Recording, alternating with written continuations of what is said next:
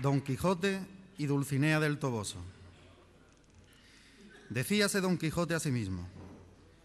si yo me encuentro por ahí con algún gigante, como de ordinario le acontece a los caballeros andantes,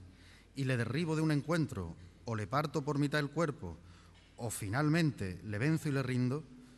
¿no será bien tener a quien enviarle presentado y que entre y se hinque de rodillas ante mi dulce señora? Oh,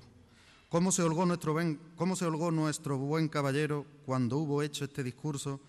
y más cuando halló a quien dar nombre de su dama? Y fue, a lo que se cree, que en un lugar cerca del suyo había una moza labradora de muy, de muy buen parecer, de quien él un tiempo anduvo enamorado, aunque ella jamás lo supo ni se dio cata de ello. Llamábase Aldonza Lorenzo y a ésta le pareció ser bien darle título de señora de sus pensamientos, y buscándole nombre que no desdijese mucho, mucho del suyo,